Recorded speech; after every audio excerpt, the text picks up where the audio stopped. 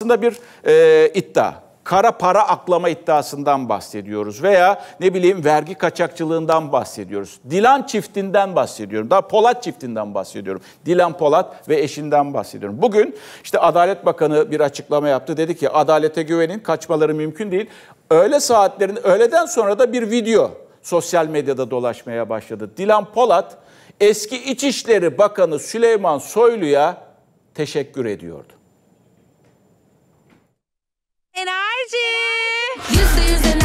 Bu nasıl bir sinerji? Tek tek ediyorum hatırlarımı.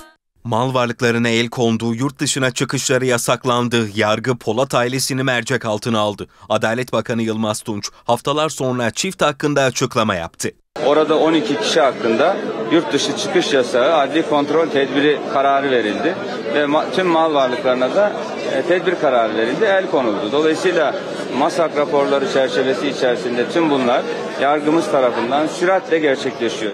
Dilan ve Engin Polat kara para akladıkları ve vergi kaçırdıkları iddialarıyla haftalardır Türkiye'nin gündeminde. Şaşalı hayatlarını her fırsatta paylaşan çiftin mal varlıklarına el kondu. Dilan ve Engin Polat sessizliğini korurken Adalet Bakanı Yılmaz Tunç soruşturma hakkında konuştu. Yargı bu konuda gereğini yapıyor dedi. Sosyal medyada e, yargının bu konuda e, duyarsız kaldığı yönündeki eleştirilere kesinlikle katılmayın. Bunlara inanmayın. Yargı her türlü suçun üzerine kararlılıkla gider.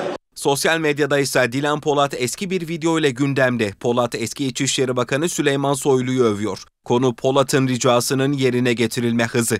Başımızın eksik etmesi. Öyle de güzel ilgilenildi Bir ki. günde buldu. Bir gün. buldu. Bir gün kız 3 saat. 3 saat. Siber'e gidiyorsun dedi. Siber'e gittim 3 saat. Polat'ın işleri artık aynı hızla çözülmüyor. Hakkındaki soruşturma sürüyor. Parti kursa kazanırsınız. Enerji.